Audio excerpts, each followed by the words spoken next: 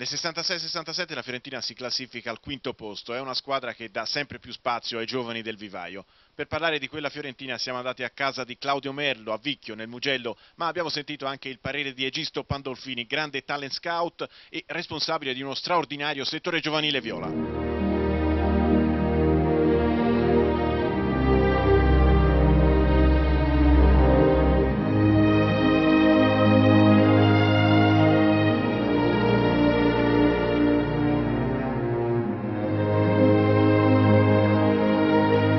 66-67 è un'annata significativa per la crescita di molti giovani della Fiorentina. Tra questi giovani c'eri anche tu, avevi 20 anni e quell'anno collezionasti 28 presenze in campionato.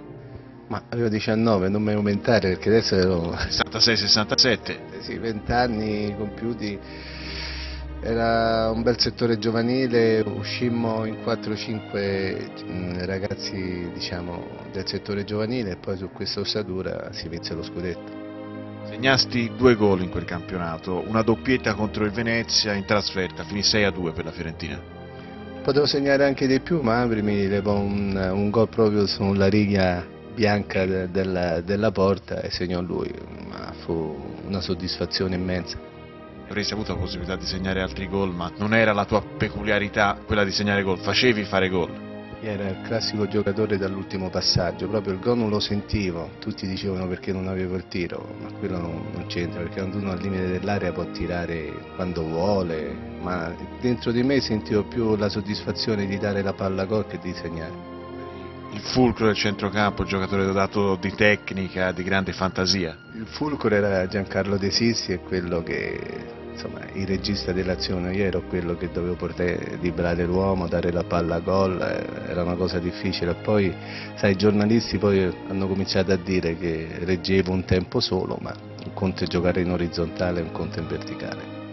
Probabilmente anche perché era difficile comunque riuscire per le tue caratteristiche ad essere continuo per tutta la partita. Ma sai, io penso che i giocatori tecnici hanno tutti le pause, vediamo adesso anche i grandi giocatori che non giocano 90 minuti, ma sì, giocano tanto, però hanno anche loro delle pause, ma ho detto, quando devi dribblare l'uomo, devi andare sul fondo, crossare eh, e devi, devi fare dei 30-40 metri con la palla di scatto, io penso sia un po' difficile per tutti di giocare con continuità. Ma Merlo era un giocatore che a centrocampo non era inferiore a nessuno in quei momenti lì, in particolar modo parlo di giovani. Merlo eh, giocava in, un, in, una categoria inferiore alla Serie A ovviamente, eh, faceva la, la, la, serie, la, serie, C, la C2 c'era allora mi pare, no? Perciò Merlo è stato uno dei, dei giovani che ci ha dato anche lui quelle soddisfazioni che tanti altri ragazzi ci hanno dato. ci furono prestazioni eccellenti da parte dei Viola, ma anche delle battute a, a vuoto per voi. Eh vabbè, ma sai, nella nostra gioventù c'erano delle partite che ci esaltavamo, delle partite che a vuoto è una cosa normale quando uno ha 20 anni e c'erano 4-5 ragazzi della mia stessa età. In quel campionato nel mese di novembre esordisce Salvatore Esposito, la Fiorentina a Cagliari perde 1-0 ma trova un centrocampista di grande rendimento. Meno male è uscito Esposito perché i primi tempi mi misero giocare anche mediano, non, non, era il mio ruolo, ma Esposito era un grandissimo giocatore perché aveva un grande passo una grande tecnica che per un mediano non era da poco. Ma sì, l'abbiamo trovato in una delle tante partite diciamo, di allenamento, di provini, come si usava dire. Noi avevamo un, un nostro collaboratore in Campania in cui ci segnalava i ragazzi migliori, proprio ragazzi, perché Esposito era un ragazzo quando noi abbiamo ritenuto opportuno portarlo a Firenze. Non mi ricordo gli anni, ma ne aveva così pochi che... 14. Ecco, 14 anni, eh, me lo ricordi, mi fa anche piacere. Mi ricordo che era un ragazzino, oltretutto anche il prezzo, perché lo pagammo 300.000 lire, questo me lo ricordo bene e questo è stato una delle, delle, diciamo, delle cose belle che noi ricordiamo molto volentieri, insomma, un ragazzino che poi è arrivato a giocare nella nazionale e ci ha dato molte soddisfazioni. Aveva solo una lacuna, gli mancava qualche chilo di muscoli. Se avesse avuto le mie gambe, Esposito, le mie gambe, eh, dico solo, mi limito a dire le gambe perché io grazie alle gambe sono diventato un buon giocatore. Se Esposito avesse avuto le mie gambe sicuramente faceva il doppio di quello che ha fatto, perché nel calcio moderno purtroppo, io non l'apprezzo ma è così, ci vuole prima i muscoli e poi la testa che, che guidano i muscoli. Il rapporto con eh, Chiappella quanto era saldo per poi poter costruire una Fiorentina sempre migliore?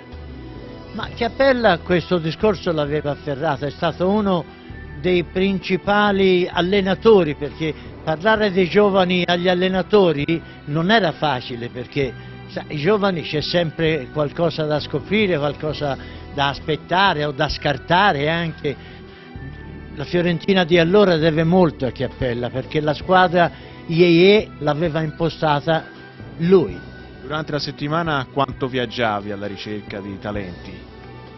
Io ogni anno cambiavo una macchina, ti posso dire questo, perché si girava l'Italia e abbiamo avuto dei grossi risultati. Ci siamo dati da fare molto, forse siamo stati un, una delle prime società che ha fatto le squadre gemellate sia nel nord che nel sud, ma le squadre gemellate vuol dire andarle a trovare spesso e volentieri. Io mettevo su i tre o quattro eh, collaboratori e, e si girava l'Italia. Quali sono stati i tuoi più stretti collaboratori? Beh, io posso dire i due stretti collaboratori, quelli più ufficiali che erano anche stipendiati dalla Fiorentina, era Biagiotti Aldo di Sesto Fiorentino e il grande Cervato, grande Cervato che eh, quando mi trovava un giocatore e mi diceva io lo voglio rivedere, lo prendevo subito perché Cervato era così esigente da, da, da, da essere anche spronato per farci trovare dei ragazzi giovani, ma quando diceva io lo voglio rivedere perché oggi tirava vento, c'era il fango o pioveva, lo prendevo subito. Il 66-67 è anche l'ultima stagione in viola per eh, Kurt Amrin, era lui una delle guide di quella squadra? Assolutamente, era la guida, della... noi avevamo due guide, avevamo il portiere Albertosi in porta e Ambri avanti. Ambri era veramente il nostro padre ci consigliava, ci dava, ci dava delle sprone, poi noi giocavamo proprio per lui, lui con noi ha fatto parecchie cose, si è divertito tantissimo, se voi lo andate a intervistare dirà queste cose perché dice con, la, con quella squadra là mi sono divertito parecchio. Ho 16 gol in quel campionato e tu quante reti gli facesti segnare? Tantissime, perché basta dare la palla ad Ambri oppure uno tirava in porta, il portiere faceva uno sbaglio e lui era sempre lì segnare, lui giocava sempre sullo sbaglio dell'avversario o del portiere, un grandissimo giocatore veramente. Quella stagione fu funestata dal dramma dell'alluvione, come vivesti quei, quei, giorni e che cosa ricordi? Ah, ricordo delle cose bruttissime, ricordo l'acqua che arrivava fino a, a Ponte Rosso, noi eravamo da quest'altra parte e l'acqua non era arrivata, mi ricordo che lo stadio era il punto dove arrivavano i viveri per, per la gente, noi scaricavamo, noi giocatori scaricavamo tutta questa roba eh, e poi per distribuirla, ecco, è stato un anno bruttissimo per Firenze e anche per noi.